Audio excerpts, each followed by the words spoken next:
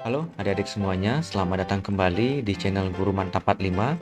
Di video kali ini, saya akan berbagi informasi untuk adik-adik yang nantinya akan mendaftar sekolah kedinasan di tahun 2022 yang berkaitan dengan dokumen-dokumen apa saja yang harus adik siapkan dalam melakukan proses pendaftarannya yang dibuka nantinya pada tanggal 9 sampai 30 April 2022.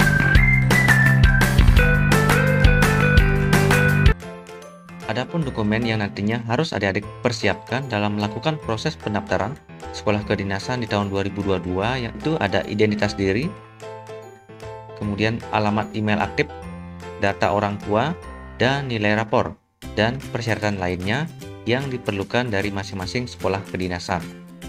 Bagaimana tata cara pendaftaran untuk peserta yang tidak mempunyai nilai UN di masa pandemi ini?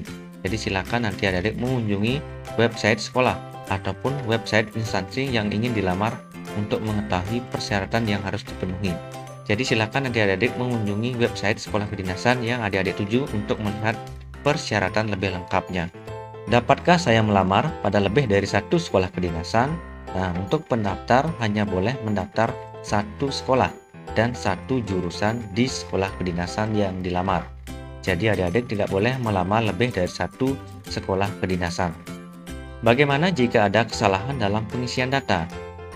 Nah, data bisa diubah selama pendaftar belum mengklik akhiri pendaftaran pada resume pendaftaran. Jadi untuk adik-adik perlu adik-adik teliti dan hati-hati dalam mengisi datanya. Tetapi adik-adik bisa mengubahnya dengan syarat adik-adik sebelum mengklik akhiri pendaftaran pada resume pendaftaran ini. Apa persyaratan khusus untuk mendaftar sekolah kedinasan?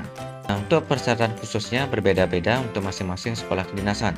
Jadi silakan nanti adik-adik untuk mengecek persyaratannya pada website sekolah kedinasan masing-masing. Bagaimana jika NIK dan nomor KK tidak ditemukan? Apabila terdapat ketidaksesuaian antara NIK dan nomor KK, silakan nanti mengajukan permohonan perbaikan data ke kantor Dukcapil setempat sesuai dengan alamat KTP dan Dukcapil Pusat untuk melakukan perbaikan data sesuai dengan dokumen resmi yang Anda miliki. Bagaimana jika saya belum 17 tahun? Sehingga belum memiliki KTP atau surat keterangan. Untuk pelamar yang berusia di bawah 17 tahun bisa mengupload kartu keluarga. Jadi untuk adik-adik yang belum memiliki KTP karena berusia di bawah 17 tahun, syaratnya adalah mengupload kartu keluarga dan juga swafoto menggunakan kartu keluarganya. Demikian adik-adik informasinya berkaitan dengan pendaftaran sekolah kedinasan 2022. Semoga informasi ini dapat membantu adik-adik.